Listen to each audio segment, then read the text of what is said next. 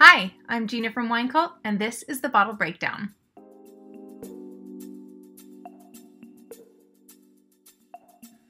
Today, we're talking about the 2016 Areni Noir from Hin Areni Wines.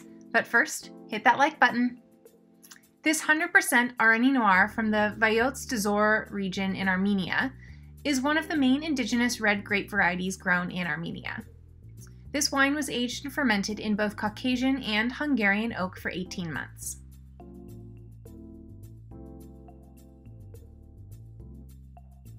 The Hin Areni Winery was founded by the Karapetyan family in 2013 and combines historic traditions of winemaking with state of the art modern equipment. Their winery was designed by a renowned winery design expert from Argentina, and their consulting winemaker Didier Cornillon hails from France. Their winemaker, Vahe Hartunian, is Armenian.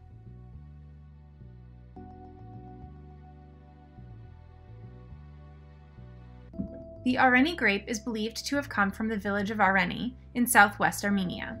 In 2011, a remarkable discovery was made in a cave just above the village.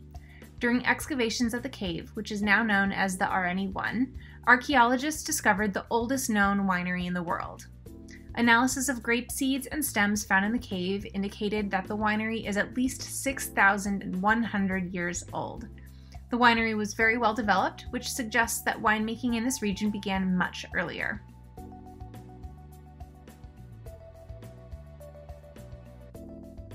This Areni Noir is complex yet delicate, with slight peppery notes to the taste, and boasts rich aromas of red berries, which is pleasantly tart to the finish.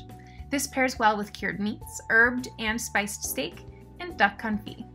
For more bottle breakdowns and other great wine content, don't forget to subscribe. I'm Geena from Wine Cult. See you next time.